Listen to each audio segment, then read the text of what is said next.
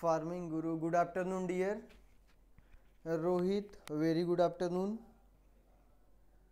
चलिए तो कैसी चल रही है पढ़ाई आप सबकी? रोहित फ़ार्मिंग गुरु चलिए।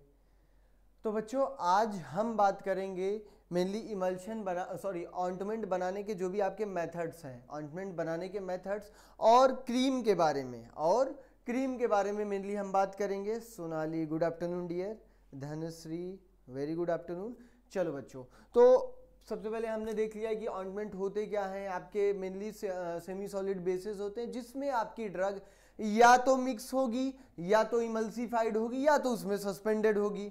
इसकी हम बात करते हैं। बिल्कुल रोहित एग्ज़ाम कब है? बहुत जल्द होगा रोहित एग्ज़ाम बहुत जल्द, क्योंकि अब रिज़ल्ट आ गया है और अकॉर्डिंग जो अभी आपका रिसेंट रिसेंटली नोटिस आया था, उसके अकॉर्डिंग आपका मोस्ट प्रोबेबली जनवरी या फेब्रुवरी में आपके एग्ज़ाम कंडक्ट कराए जाएँगे ओके अभी तो एग्ज़ाम कंडक्टिंग बॉडी ही डिसाइड हो रही है कि कौन कंडक्ट कराएगा। जैसे जी जो है, वो आपका एनटीए कराता है। तो जो आपका बी है बोर्ड ऑफ़ टेक्निकल एजुकेशन ये धूल रहा है कि हाँ अभी ये डिसाइड किया जाएगा कि कौन सी गवर्निंग बॉडी होगी जो एग्ज़ाम कंडक्ट कराएगी।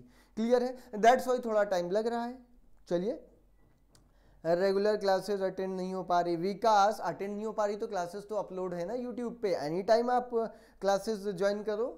ओके मीरस गुड आफ्टरनून डियर चलो, बहुत फ़ार्मिंग भी बहुत अच्छी GDC thank you so much dear चलो। ठीक है? तो चलिए स्टार्ट करते हैं हम। यहाँ पे मेनली किसके बारे में? जो भी आपके ऑइंटमेंट हैं और क्रीम्स हैं, ठीक है? तो अगर हम बात करें ऑइंटमेंट प्रिपरेशन मेथड की ओके ऑइंटमेंट प्रिपरेशन मेथड की तो मेनली ये आपका दो टाइप का आपको देखने को मिलेगा। पहला है आपका इनकॉर्पोरेशन मेथड दूसरा है आपका फ्यूजन मेथड जो कि आपका काफ़ी इंपॉर्टेंट है fusion method okay good morning Shubham चलो, अब देखते हैं मेनली इनकॉर्पोरेशन मेथड ठीक है? तो इसमें क्या करते हैं? इनकॉर्पोरेशन यानी कि सिंपल वर्ड ही आपका डिफाइन कर रहा है कि जो कंपोनेंट्स होते हैं इंग्रेडिएंट्स होते हैं, उनको हम क्या कर देते हैं? उनको हम आपस में मिक्स कराते हैं और तब तक मिक्स कराते हैं, जब तक कि वो यूनिफॉर्म मिक्सचर में ना कन्वर्ट हो जाए यूनिफॉर्मली ना मिक्स हो जाए ओके चलिए, अब देख लेते हैं इनकॉर्पोरेशन ऑफ़ सॉलिड्स के बारे में, क्या? इनकॉर्पोरेशन ऑफ़ सॉलिड के बारे में। तो इसमें हम करते क्या है? जो भी आपका ऑइंटमेंट बेस होता है, ठीक है? इसको हम एक one side of working surface पे, कहाँ पे? One side of working surface पे जो हमारे क्या होते हैं? जो पाउडर्ड कंपोनेंट होते हैं, ठीक है? उनको हम क्या करते हैं? मेनली एक मोटार पेसल में, मोटार पेसल में क्या कराते हैं? मिक्स कराते हैं okay good morning Tinkle Sonam good afternoon sorry good afternoon चलो, क्या कराते हैं? मोटार पेसल में उनको ब्लेंड कराते हैं, यानी कि प्रॉपरली मिक्स कराएँगे, ताकि वो क्या हो जाए, मेनली आपके फाइन पाउडर्स में कन्वर्ट हो और यूनिफॉर्म मिक्सचर बनाए ओके द ड्रग मेनली जो भी आपका पिंक पाउडर होता है, ठीक है? इसमें आपका मेनली क्या लेते हैं? Smaller quantity of two ingredients दो इंग्रेडिएंट रहते हैं स्मॉलर क्वांटिटी में, जिसमें पहला हम क्या देख रहे हैं? क्या अमाउंट हम ऐड कर रहे हैं? अमाउंट ऑफ़ ऑइंटमेंट जो कि आपका अप्रोक्सीमेटली इक्वल होता है किसके? ड्रग के बराबर। अप्रोक्सीमेटली ड्रग के बराबर। Then spatulate the mixture spatulate का सिंपल सा मतलब है, आपका जो भी स्पैचुला है, क्या है? जो स्पैचुला है, उससे हम उसको प्रॉपरली मिक्स करें। क्या कर लें? प्रॉपरली मिक्स करें। Then continue adding until all of the ointment is use इसका मतलब है कि देन हम उसमें कंटिन्यूसली जो भी कंपोनेंट है हम उसको ऐड कराते जाते हैं, जब तक कि आपका पूरा का पूरा वहाँ पे जो भी आपकी क्या है प्रिपरेशन है, वो कंप्लीट नहीं हो जाती, ठीक है? चलिए, और स्पैचुलेट आफ्टर ईच एडिशन यानी कि हर एक एडिशन के बाद, हर एक बार जब हम उसमें ऐड कर रहे हैं, उनको प्रॉपरली मिक्स करना है क्लियर चलिए नेक्स्ट आ जाते हैं नेक्स्ट क्या है? लिक्विड हम क्या कर रहे हैं? देन आफ्टर लिक्विड सब्सटेंस हम क्या कर रहे हैं? ऑइंटमेंट में ऐड कर रहे हैं। जो भी वहाँ पे हमारा क्या है? वॉल्यूम रिक्वायर्ड है। जितना भी वॉल्यूम का हमें वहाँ पे बनाना है। ओके देन उसमें हम क्या करते हैं? एक्को सॉल्यूशन हम मेनली स्मॉल अमाउंट में हम इनकॉर्पोरेट कराते हैं। जो भी वहाँ पे हमारा ओलिजिनस ऑइंटमेंट है। ठीक है? देन हाइड्रोफिलिक ऑइंटमेंट बेस में मेनली क्या है आपका? रेडियली एक्सेप्ट एक्वस सॉल्यूशन क्यों भाई? क्योंकि आपका हाइड्रोफिलिक है, ये ऑइंटमेंट ही डिफाइन कर रहा है कि आपका हाइड्रोफिलिक है दैट्स वाई क्या होगा? रेडियली ये आपके सोलुबलाइज हो जाएँगे ओके जो भी आपका क्या है एक्वस प्रिपरेशन में आपका जो भी हाइड्रोफिलिक बेस हम वहाँ पे ऐड कर रहे हैं। क्लियर विकी गुड आफ्टरनून बेटा। चलो then first aqueous solution first aqueous solution आपका हम क्या करेंगे?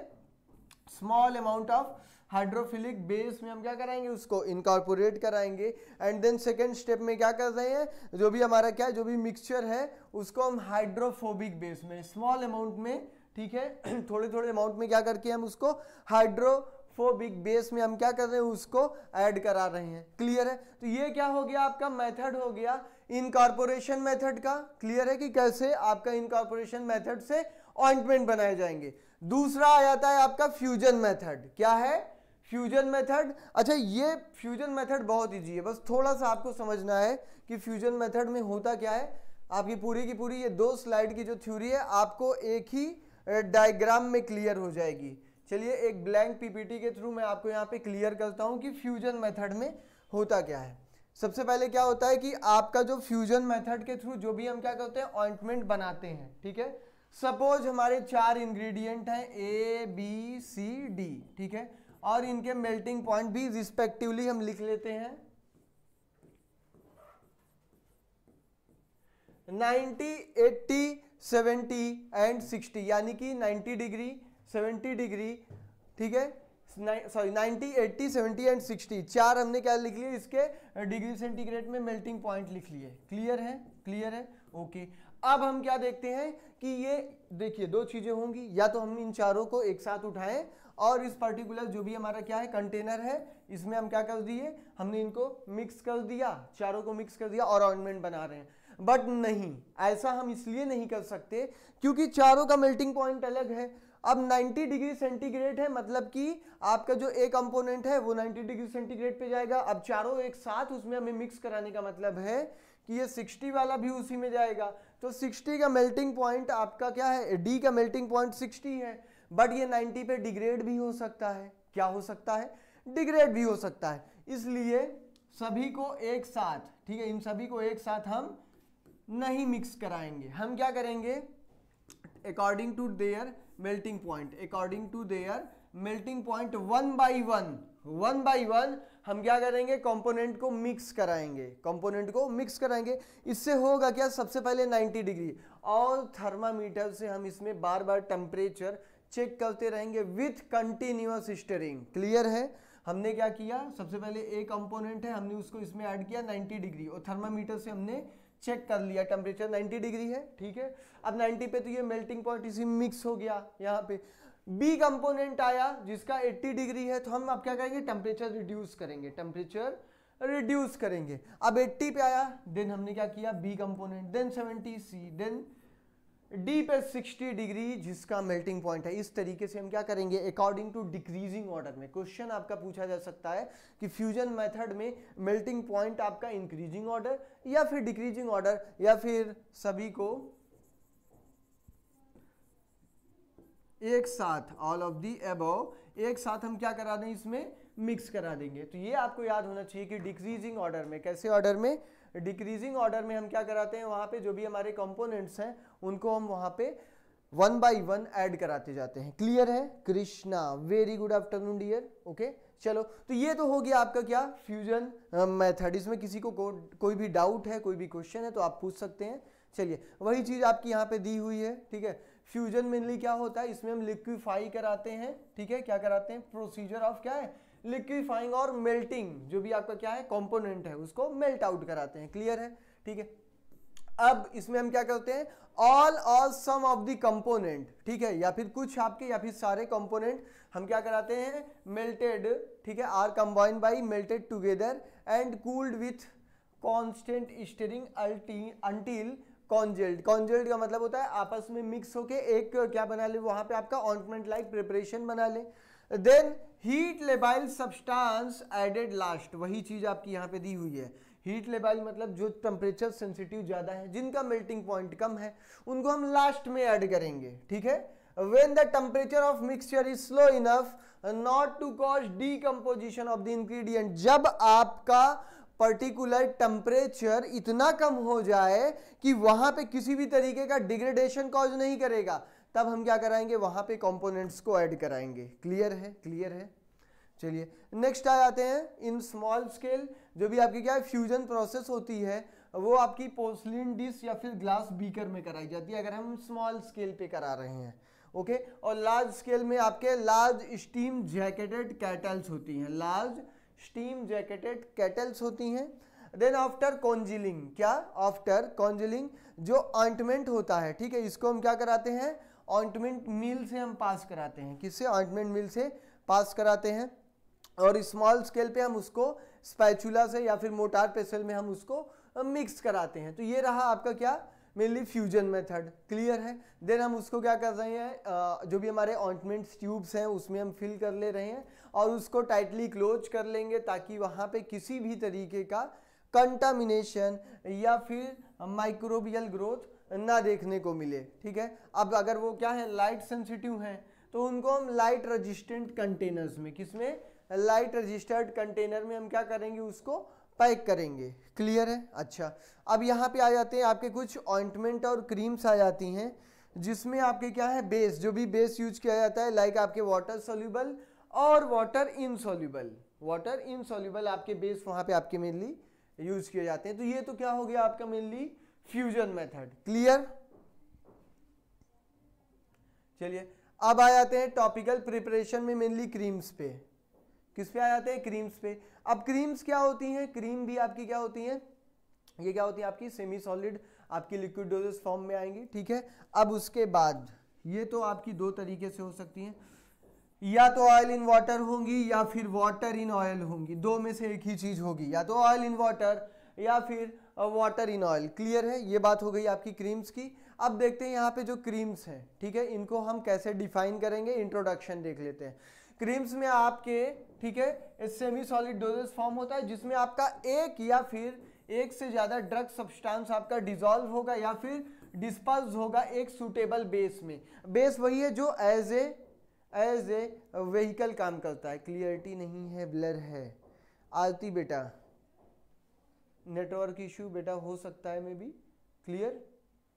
चलिए, Priya, good afternoon dear, good afternoon Aarti, okay. चलो, क्रीम्स आपकी क्या होती हैं? सेमी सॉलिड इमल्शंस होते हैं ऑयल एंड वाटर के।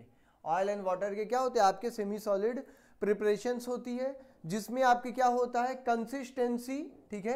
क्या होती है? सॉफ्टर कंसिस्टेंसी और लाइटर बॉडी होती है as compare to as compare to ointment clear है?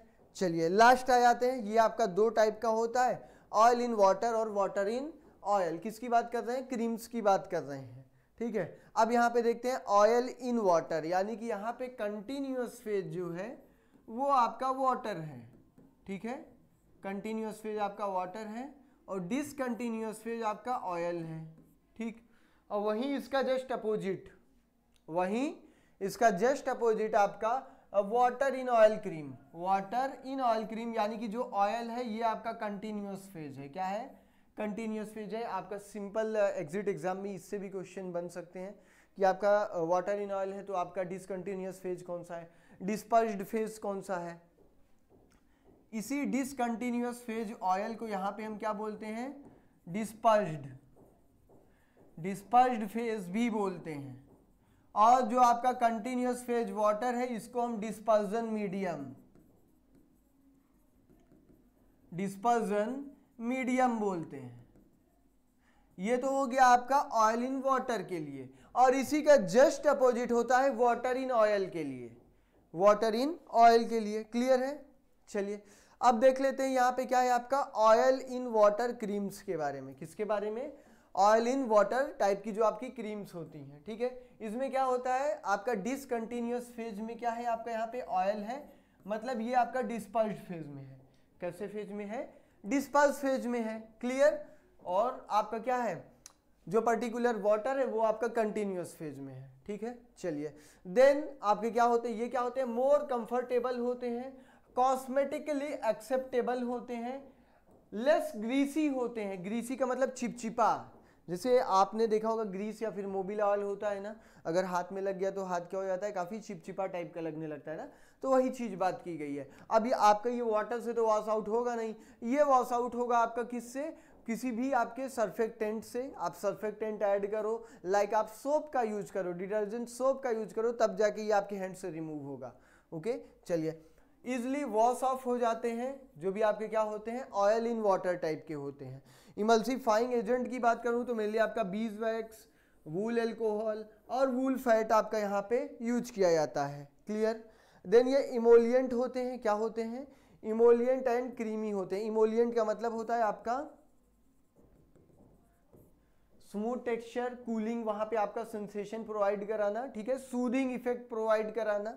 ओके चलिए ट्रांसलूसेंट होते हैं। ट्रांसलूसेंट का मतलब होता है लाइट तो पास हो जाएगी उससे बट आप उससे मेनली uh, एक फ़ेज़ से दूसरे साइड कहते हैं ना इस साइड से दूसरे साइड आप उसके देख नहीं पाओगे। विजिबिलिटी बहुत कम रहेगी ना के बराबर केवल लाइट वहाँ से पास हो सकती है। ओके चलिए एग्ज़ाम्पल है आपका वेनिसिंग क्रीम अच्छा वेनिसिंग क्रीम क्या होता है? वंसिंग क्रीम बेटा वही होता है। जो आप देखोगे ना कि किसी भी फ़ंक्शन वगैरह में आपके जो जो भी फ्रेंड्स वगैरह हैं, लगा लिए तो एकदम गोरे हो जाते हैं। मतलब एकदम लगेगा कि अभी अभी स्विट्जरलैंड से आए हैं, ठीक है? एकदम उस टाइप वाले गोरे, ठीक है? तो वो होती है वेनिसिंग क्रीम यानी कि ढक लेना। वेनिस मतलब होता है क्या? छिपा लेना। तो किसी भी तरीके के मेनली जो भी डार्क स्पॉट्स वगैरह हैं, उसको क्या कर लेता है? वेनिस कर लेता है। This is vanishing cream okay चलिए नेक्स्ट आ जाते हैं। नेक्स्ट क्या है बच्चों? वाटर इन ऑयल क्रीम ये क्या है आपका यहाँ पे?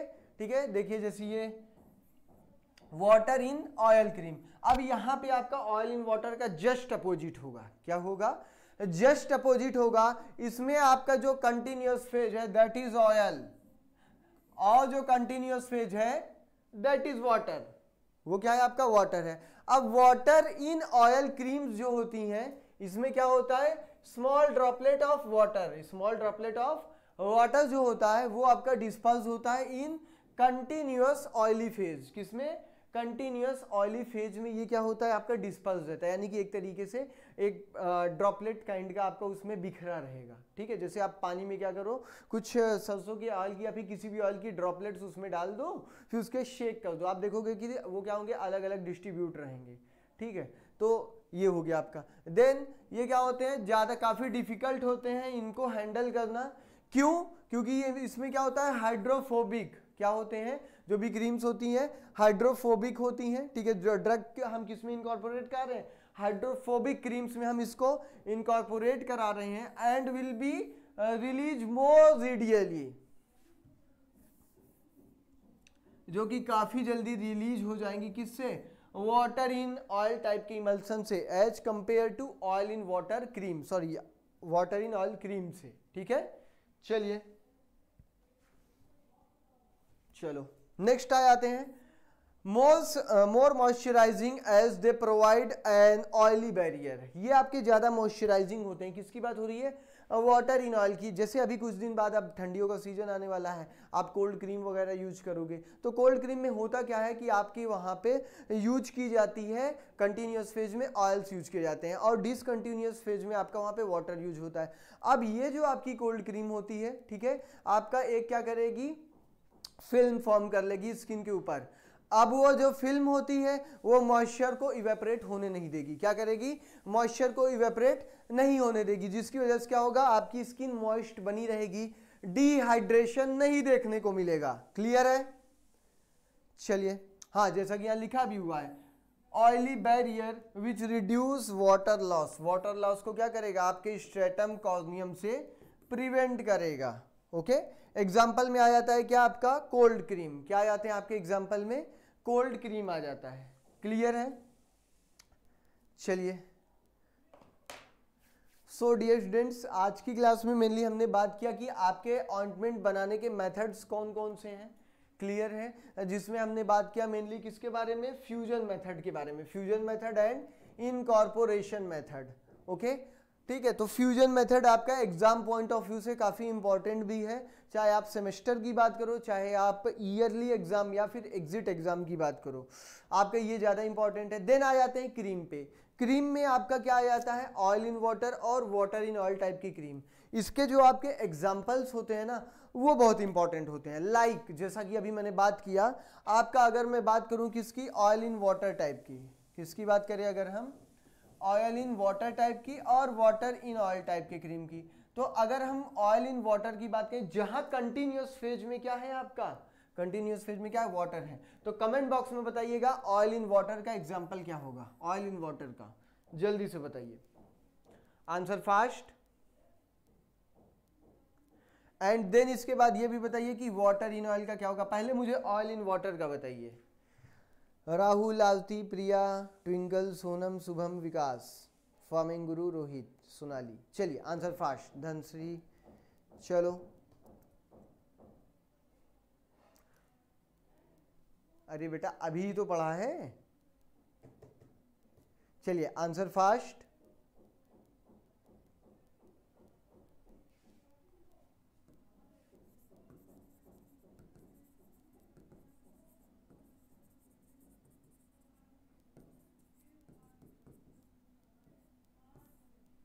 वनिशिंग क्रीम हो गया। बहुत अच्छे, मोफिल। वेरी गुड मनीष, ठीक है, आरती वेरी गुड चलिए, सुनो। क्या है आपका? वनिशिंग क्रीम हो गया, जिसकी बात किया था। दूसरा आ जाता है आपका मिल्क ये दोनों क्या है आपके? ऑयल इन वाटर टाइप के। किसके? ऑयल इन वाटर टाइप के आपके। बिल्कुल। एग्ज़ाम्पल में आएँगे। देन वाटर इन ऑयल की अगर बात करो। वाटर इन ऑयल की। वेरी गुड मोफिल। आपका क्या है? वाटर इन ऑयल में आपके कोल्ड क्रीम आएगा। क्या आएगा आपका? कोल्ड क्रीम आएगा, ठीक है? दूसरा आ जाता है,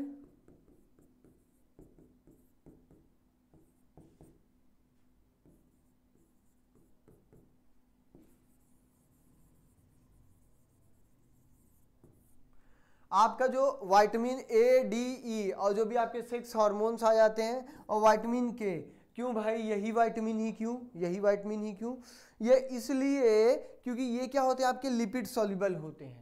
ये जो वाइटमिन है, ये आपके लिपिड सोल्यूबल हैं तो इनको हम क्या देते हैं? बिल्कुल, ये आपके किसमें आएँगे? पेरेंट्रल सिमल्सन में आएँगे। और इनको हम मेनली किस रूट से देंगे? किस रूट से देंगे? I M intramuscular Geeta Rana admit card कब आएगा सर पेशेंस बेटा, अभी कल ही परसों तो रिज़ल्ट आया है। धैर्य रखिए, जल्दी ही आएगा। ओके? बट तैयारी आपकी पीक पे होनी चाहिए कि अब एडमिट कार्ड आएगा, हम तब पढ़ना शुरू करेंगे, फिर तो हो गया। ठीक है? तो तैयारी रेगुलर फैट सॉल्युबल बिल्कुल। इसको हम आईएम रूट से देते हैं। और जो आपकी ड्रग होती है, जो भी आपकी क्या होती है, वहाँ पे जो आपकी ड्रग होती है, वो डिपोर्ट के फॉर्म में। डिपोर्ट के फॉर्म में आपके जो भी मसल्स होती हैं, वहाँ पे कलेक्ट हो जाती हैं देन स्लोवली रिलीज़ होती हैं। क्या होती हैं? स्लोवली रिलीज़ होती हैं। तो ये क्या हो गया आपका?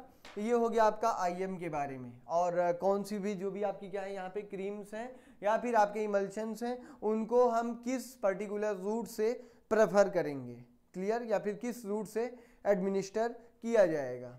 क्लियर है? चलिए।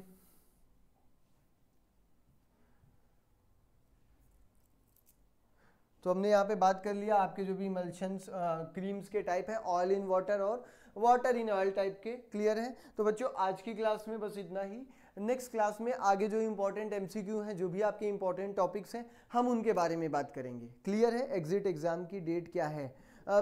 मीरज बेटा exit exam sir exam date तो तीस तारीख है तो एडमिट कार्ड कब आएगा? गीता, बेटा जो अभी लेटेस्ट आपका नोटिस आया था पीसीआई के पीसीआई का, कि हाँ बीटी के थ्रू कि आपका जो भी एग्ज़ाम है, वो आपका पोस्टपोन किया गया है, अब वो मोस्ट प्रोबेबली दिसंबर के बाद ही होगा। ठीक है? क्यों? क्योंकि भाई इसमें कुछ और न्यू चीज़ें ऐड ऑन की गई हैं। जैसे पहले क्या था, आपके पेपर अलग अलग हो रहे थे। अब आपका एक ही पेपर होगा। उसमें सारे सब्जेक्ट के होंगे। अलग अलग सब्जेक्ट का नहीं होगा। रीजन क्या है कि जो भी फाइनेंशियल बर्डन है बच्चों पे, उसको मेनली कम करने की कोशिश की जाए। ठीक है? जो अलग अलग पेपर हो रहे थे, उसको एक ही बार में कंडक्ट करा के ख़त्म किया जाए। क्लियर है? और एग्जिट एग्ज़ाम की डेट मीरज अभी एज सच कोई नोटिफिकेशन नहीं आया है डेट के रिगार्डिंग ठीक है? बट आपको अपडेट रहना है रेगुलर बेसिस पे।